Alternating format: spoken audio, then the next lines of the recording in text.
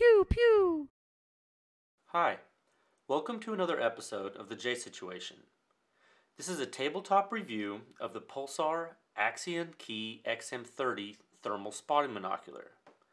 Note that this monocular can be used during the day or the night. In the box, you get the owner's manual and warranty card, and the Axion, which comes in this pretty cool pouch. Uh, Pulsar stuff usually comes in pretty durable cases that you can use in the field, and this one is no different. So let's open it up. So it's open like that. You have your transformer for charging the battery. The Axion unit itself. Standard Pulsar micro USB cable for use with the charger. And you have a pretty typical lens cloth. The case is pretty cool. Um, has pockets and things for your stuff. Kind of has everything you need and nothing you don't. So, a quick overview of Pulsar. Um, Pulsar is a Lithuanian brand from the parent company Yukon Advanced Optics. Uh, in the United States, uh, Sellmark, which is near Dallas, uh, distributes the Pulsar brand. Um, Pulsar offers a variety of products, including Gen 2 night vision, actually, and thermal devices, which it's very well known for. Um, I previously re reviewed several Pulsar thermal imaging devices on my channel, so you can check out those videos if you like. In general, products from Pulsar are priced very competitively, and the customer service is very good. Um, I will say that my experiences have been good, and the customer service here in, in the United States is handled by Sellmark in Dallas, and uh, those are pretty good folks, and they respond to inquiries very quickly. So, fairly quickly, um, let's go over how the Axion uh, thermal works. Um, you can kind of think of the Axion series as miniaturized Helion monoculars um, without the modular objective lens, so you cannot remove the objective lens. Um, this device, like other uh, thermal optics, detects medium to long wave infrared radiation. It uses a microbolometer to translate those wavelengths into electrical resistance, and then software in the unit shows you an image on the screen through the eyepiece. Uh, that's the basic principle of operation with consumer thermal products. The Axion line uses Pulsar's new 12 micron core, but the sensor is 320 by 240. Um, although they have the technology for the 12 micron 640 and higher resolution, uh, they chose to go with 12 micron 320 uh, right now, and so that's what we get with the Axions. Um, more about the performance later. So this is the Axion key. Um, specifically, it's the XM30 uh, Axion key. It's not the bottom of the line Axion um, in the lineup, but it's second from the bottom. Uh, the key line is differentiated from the higher end Axions by its cheaper screens. So that's the screen you're going to look at uh, through the viewfinder here. Uh, the lack of onboard video recording and the non-inclusion of a separate battery charger. So you can charge the battery by plugging in the device, although you can purchase a separate charger as well, um, which is you know the same one that comes with the higher end models. So let's go over all the components of the Axion. The XM30 key has a 24 millimeter diameter objective lens with a 30 millimeter focal length. Uh, the native optical magnification is 2.5x, uh, similar to the Helion XP50 actually uh, in magnitude. Um, the lens cover is attached to the hand strap lanyard uh, and has a small magnet encased in a rubber material. So you can kind of see the, the magnet in there. Um, so that's so you can flip it back like this and it's pretty slick. it sticks to the hand strap because the hand strap contains a small steel shim and therefore uh, is magnetic and so this which is probably a neodymium magnet sticks on there and it's kind of out of the way um, this is very clever and it's extremely convenient and I like it a lot the little details like this are par for the course with Pulsar um, in general with their products, and it's something that I, I think deserves to be mentioned. The objective lens focus here, um, which is a great feature to have, especially on lower end thermal optic. Not all lower end thermal spotting optics have objective focus, so that's pretty cool. Um, it, it operates very smoothly. It's not quite as easy to turn as the one on the Helion, but it's definitely not difficult at all. And the, the knurling on the side here is super easy to grip, so you don't get a lot of resistance. Uh, I'm, a, I'm a fan of the way this works. Um, I always find myself using thermal optics dynamically in the field, so I appreciate Pulsar's attention to the tactile feel and operation of the focus ring. Um, I use the focus ring a lot um, on my Helion. I mean, I, I, I can't imagine not having focus. That would not be good. Um, below the objective focus ring, you'll find the battery compartment release button. Okay, um, if you press this button, the rechargeable battery uh, will pop out.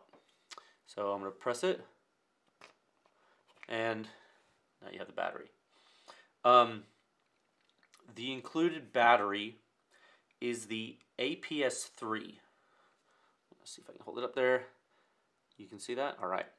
Um, it has a capacity of 3200 milliamp hours. Um, note that this battery can also work with the new line of Thermion thermal weapon sights that Pulsar just released. Um, and at the time of this video, actually, the, the Thermion is, is released in North America in shipping. So, uh, you know, if you want to check that out, um, now would be the time to do that. Um, so this is a 3200 milliamp hour battery. And there are also 2000 milliamp hour batteries, uh, which are designated the APS2 in contrast with this um, APS3. And so those smaller batteries work with the Thermion rifle scopes, but they're too short to work in the Axion. Um, the, though they will fit inside. So this, the APS-3, is long enough, um, and so the smaller APS-2 will not engage the contacts um, in the end of the, the Axion, so don't try to use that um, in there. Um, so the A- APS-2 is of no use to you if you own an Axion. Um, note that the battery does have a proper orientation for installation signified by a matching white dot on the end of the battery here and on the body of the Axion here. Note that the bottom of the battery and the top of the battery are also ribbed in a different fashion. So you got this like wider ribs here um, on the top and then uh, narrow for the bottom. Despite these warnings and help that Pulsar has given, um, it is possible to shove this battery um, into the Axion body upside down. So that would be like if you had the dot and you flipped around like that, accidentally because you were in the dark and you forgot how it goes. See, it doesn't really go in, but if you really wanted to, you could shove it in there. And um, trust me, uh, I've seen it done. And don't do it because if you do it, it's a pain in the ass to get it out of there. Um, but you, you, you really have to try to do it wrong. Um, it's not easy to mess this up but I just wanted to mention it because I've I've learned that people can break anything. It, it's really not hard to do this right. You you have the dot here, you got the dot there, and it'll drop in, and then it seats. I can press this again and take it out. The battery has an O-ring here on the end to seal the system. Okay, so uh, that is good because it's actually IPX7 rated. So what that means is that you can dunk this um, in one meter of water depth and have the unit completely submerged for up to half an hour and the unit should be undamaged. So although you don't want to go swimming with this thing, um, if you were to drop this in a puddle uh, or you know a water trough or, or you know off the boat, you better hope that you can get to it in time. Um, you can use it in the rain and you know wet conditions, and that's really I think the thrust here.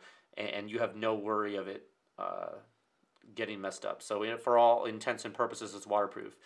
Um, you just don't want to go swimming with it. When you insert the battery back into the unit, so you're going to feel or you're going to hear a little clunk. So that's that seating and that button is engaging the retention mechanism of the battery. Um, make sure you double check it. This method of battery retention is more passive than with the other thermals from Pulsar, like the Helion and Trail, which have levers. Uh, be mindful of what you're doing. You, you don't want to have the battery fall out in the field or something, but it's pretty easy to insert. Like I said, uh, sort of, you know, you match the dot, drop in, press, you're engaged. So it seems simple, but it is different than what you might be used to seeing, so just keep that in mind. Underneath the battery release button, on the bottom of the sight or the monocular, you have a quarter inch diameter, 20 threads per inch female threaded receptacle for tripod or other mounting purposes. This is awesome. Um, and something we've come to expect from Pulsar actually on their monoculars. It's good stuff. Uh, I'm waiting for someone to uh, helmet mount this. Um, it's kind of light, so, you know, game on. Uh, on the left side of the unit here, there's a small rubber cover, and when you remove it, you can see the micro USB uh, connector, the female connector there in the body. Um, note that since this is an Axion key and not the full featured Axion, this port only functions to charge the internal battery and perhaps update the firmware. Um, on the higher end Axions, this would also function to download recorded photos and video. Note that you can use the same uh, cables as you would with the Helion and the Trail thermals. Um, and actually, the, the, the cable that comes with this um, is, is the same as the Helion Trail. Here, and you can see that it has this this keyed shape, you know, with the with the round edge and then the the flat edge. But unlike the Helion and Trail, the port does not have the keyed shape. So um, because of that, the, the reason I mention that detail is it you might, and if you're fumbling around in the dark, you might have this in the wrong orientation. So just be careful and be mindful of that. Um, I sort of wish that Pulsar went with USB C, which is orientation independent, but at the same time, I'm glad I didn't because I can use my other thermal cables that I have on hand. Uh, I don't know. There are adapters too, so you know you might be able to adopt adopt USB C to the other one and yada yada. Um, so I, th- I think my vote would still be USB C if, if I had my choice. Um, so in the future, I, I think they should do that. Uh, but just be glad it's not proprietary like an iPhone connector or something, because that, that's no good. Okay, so I can take the lens cap and put it back on. Uh, I talked about the hand strap earlier. This is similar to the one used on the Helion. Uh, these things are awesome and definitely helpful when you're riding on a four wheeler at night and you're bouncing around with one eye through the thermal and the other night blind from your night vision or thermal scope, and you're trying not to die, but most importantly, trying not to drop your thermal and run it over, uh, because then you would have to buy more money to, to, to buy another one. So that that's not good. Um, so be you know thankful that you have the strap. You know it, it keeps it secure. So I really like that. On top of the monocular body, you have all the buttons. Um, moving forward to aft, you have the power button, the up button, the menu button, and the down button. Uh, the functions of these buttons are very similar to those on the Helion binoculars. One really cool thing I like about this is the power LED. Um, it is in that little hole, so if I turn it on, Let's see if you can see it. Yeah, you see it glowing green? That's cool, right? It's right there. It would be a lot um, easier to see if it was dark in here, but it's not. Um, it glows green when the unit is on, and it, it glows red if your battery charge level drops below 10%. So that's super cool. Um, I like how small it is, so the light signature probably won't give your position away at night. When I was using out in the field, I I wasn't feeling like I was casting a, a huge beam somewhere or something. So that was pretty dope. Um, I'm gonna go ahead and turn this off. So just like the just like the Helion of the Trail, you you press the power button. I'm looking through the display here. I'm gonna hold it down. It, display counts down, and you when, once the countdown reaches zero, uh, it turns off. If you let go of the power button before the countdown reaches zero, it goes into display standby mode, and you can you can um, save some battery power. Uh, one thing I should say while I'm talking about the power button, the software on the Axion and also on the new Thermion models from Pulsar is improved, and the startup time is super quick. Uh, the pulsar units already started up fairly quickly, but now it's super super quick. So uh, I I think that's pretty neat that they were able to do that. Um, so further aft on the the the body here, you have the ocular focus knob. All right, that's a little harder to turn than the objective focus, but you're not going to be adjusting that nearly as much. Um, it's good because you know, everyone has different eyesight, and this allows you to get a good look at the screen. Okay, so let's talk about the screen. The screen on the two Axion key models is a different type than on the higher end Axion keys and the Helion and the Trail and the and the um, the, the Thermion thermals. Um, the Axion key have liquid crystal on silicon displays. So that's um, it's a 960 by 720 resolution, and the higher end Axions have a uh, active matrix organic LED, which I prefer by far. That's the same screen in the in the Helion and the Trail. Um, Pulsar did this to save money with with the uh, Axion key units, and that's fine because I know how you know many folks are concerned about cost. Uh, however, keep that in mind when you're when you're deciding uh, between the key and the regular Axion. Um, there are some other things to highlight about the body. You you have lanyard holes on the left side as well. So, so if you want to switch your strap to the left side for left-handed use, you can do that. Um, the bottom of the unit has a texturized um, rubber portion um, that makes it kind of non-slip when you're gripping it. Um, and, and given the, the unit's overall small size, uh, you know, even though you have the strap, it's a welcome detail to have that, that kind of that texturized grip. So, you know, when I'm grabbing this, I swear this feels like a compact rangefinder in my hand, and that I mean that's the first thing I noticed when when I I've been playing with these things for gosh all year really, um, and and it's just really it's a really great compact package and these little details are great. Um, they say that the the body's a magnesium alloy and I guess it's shrouded in polymer. Um, it feels really solid, just like all the other Pulsar stuff.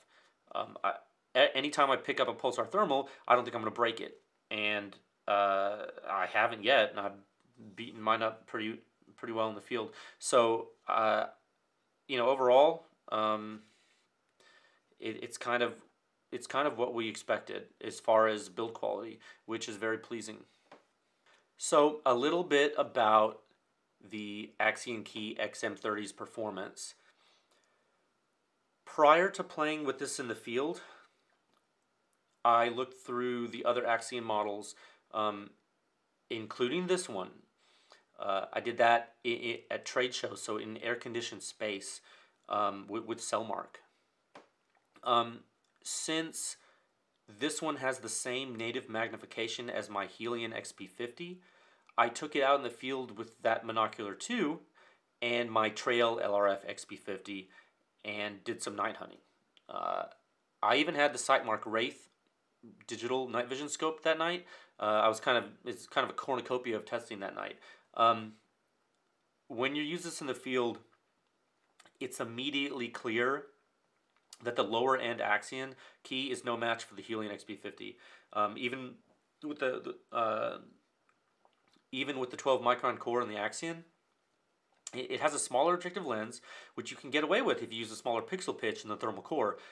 Um, but I think that the 24 millimeter lens size, coupled with the cheaper screen, exacerbates the differences between the two monoculars. Um, note that the Axion key is a fraction of the cost however, which makes sense.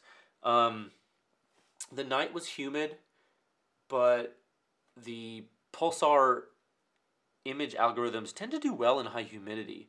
Um, and I could still locate all the thermal objectives I was locating with the Helion and Trail, but the clarity was just not up to par of what I'm used to. But, you know, I'm using the flagship uh, monocular and the flagship weapon sight from Pulsar. So um, I'm, I guess I'm kind of spoiled. Uh, but I just want to give you that relative comparison. Um, I view the Axion Key unit as something for closer range use at a lower cost and excellent for someone just getting into thermal. However, I'm really not a fan of the LCOS display. Um, I, not only is the clarity uh, qu- not quite what it is on the uh, the AMOLED displays, but it seems smaller in the viewfinder, and so it just the overall viewing experience to me is not as pleasing. Um, if you have the money, I suggest stepping up to an Axion with a higher end AMOLED display because then you get a recording function too, which is awesome. And Pulsar has improved the recording functions over the Trail and Helion with a higher resolution video compression algorithm um, and standardized uh, MP4 codec, so you don't have to convert those AVI files like before. Um, I'm not going to get too much into that right now because the Axion Key does not record video, but when I review the other high-end models, we can talk more about the recording functionality. Um, overall, I really liked uh, the Axion series. Um, out of all of Pulsar's new product lines, I'm most excited about this one due to the form factor. It's really incredible how small the overall unit is and what features they've packed into it. Uh, it it's great industrial design as always and it's very durable and it's a high-end feeling product that should give you um, a lot of good reliable uh, field use.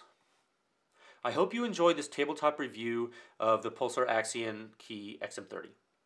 If you like this video, please subscribe to the channel. Uh, you can go to my website at thejaysituation.com and listen to my podcast and check me out on all the social media links uh, you see there, especially Instagram, because that's where I'm the most active. Uh, let me know if you have any questions regarding this review uh, in the comments of the video. And thank you so much for watching. See you next time. Pew pew.